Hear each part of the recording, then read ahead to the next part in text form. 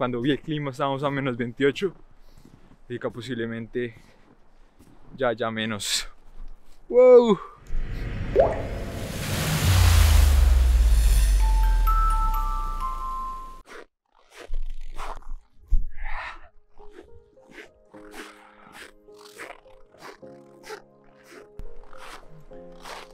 En videos anteriores hemos hablado de las razones por las cuales tú deberías venir a Canadá. Ah, sin embargo, no hemos hablado mucho de las razones por las cuales no deberías venir. Eh, y aunque Canadá te abre muchas oportunidades, te abre muchas puertas y te da demasiadas oportunidades, muchas veces las familias o las personas que llegan a este nuevo país no se adaptan, no se logran adaptar a la cultura.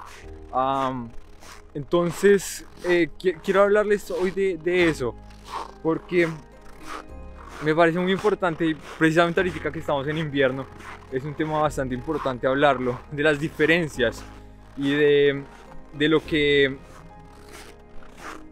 deberías saber tú si es que estás tomando la decisión de venir a Canadá, por qué no deberías venir y si la estás tomando, cosas que hay que tener en cuenta porque venir a Canadá no es, no es fácil es, es, no, y no es para todo el mundo. Así que la razón número uno es el choque cultural, porque aunque Canadá, bien voy a cambiar de mano que ya se me cansó, entonces aunque Canadá sea un país multicultural y sea un, país con cultura diversa, hay un choque cultural todavía. Y, y si es verdad que dicen que los canadienses son un poco muy son reservados y eso es totalmente cierto. Y la cultura latina es un poco más ah, alegre, un poco más diversa, más abierta. Y Canadá sí tiene ese rango de reservación y que, puede ser difícil cuando tú eres nuevo de hacer una vida social, de hacer amigos. afortunadamente yo, eh, los dos primeros años, bueno, todavía sigo viviendo con canadienses, pero el primer año, uh, los dos primeros años, perdón, viví en un ambiente canadiense, viví con una familia canadiense y eso me abrió un poco a la cultura. Uy, está haciendo un frío impresionante. Yo creo que este invierno, de todos los inviernos que hemos tenido, bueno, que, que yo estaba acá, ha sido el más frío. Pero bueno, sigamos. Uh, número dos, y es algo importante que, que, hay que tener en cuenta, y es que toca estar dispuesto a empezar desde cero. Y esto, esto es importante porque muchas veces tú estás en Latinoamérica, en tu país, y ya tienes un trabajo estable, un trabajo importante, buena, una buena posición, tienes tu casa, tu carro, estás en esa zona de confort y tomas la decisión de venir a Canadá y te das cuenta que no vas a tener las mismas eh, lujos que puedes tener en tu país. Entonces, si tomaste la decisión de venir a Canadá, tienes que estar dispuesto a empezar desde cero. Puede que los primeros meses no vayas a tener la casa que tenías, no vas a encontrar el trabajo que, que esperabas que estás buscando. Posiblemente tengas que comprar un carro de segunda mano. Pero esto todo es temporal. Son, lo que digo, son sacrificios necesarios mientras te estableces en el país.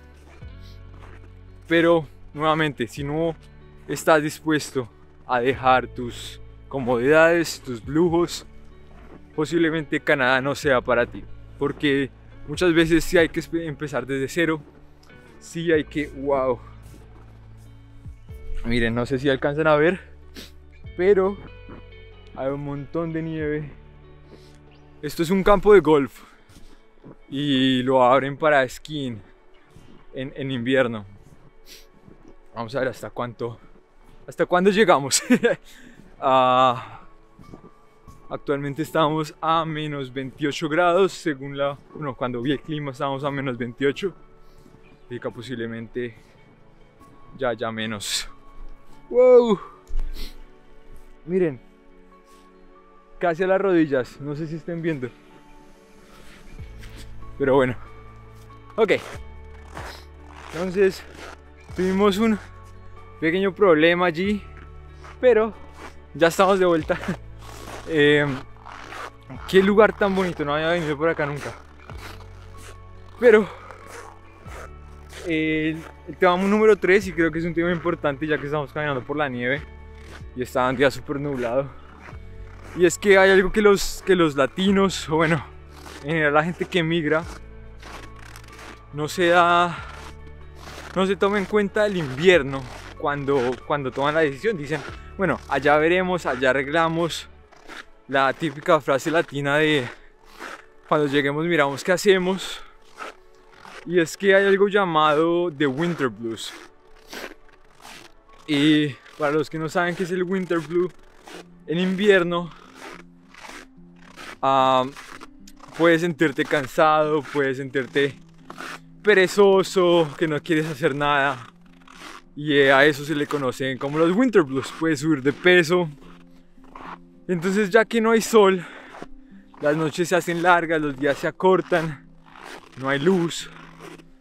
El cuerpo entra en un estado de hibernación. Y por eso te estás sintiendo de esa manera. Mucha gente en invierno puede llegar a sentirse deprimido. Entonces, es algo a tener en cuenta que muchas veces la gente no se logra adaptar al invierno canadiense. Ahora, ¿qué podemos hacer en estos casos?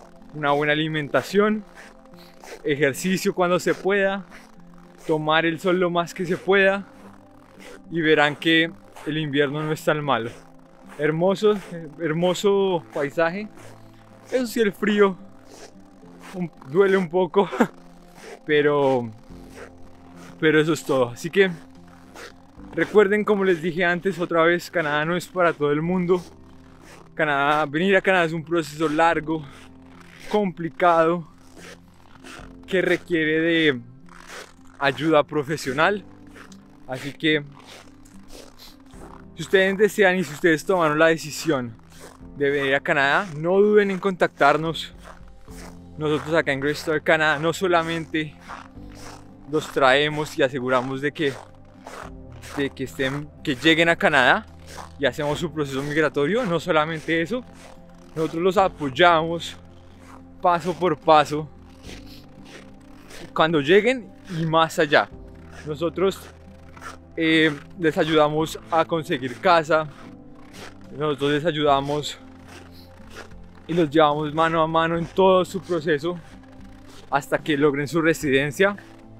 Nosotros somos su pequeña familia en Canadá, así que muchísimas gracias por este video.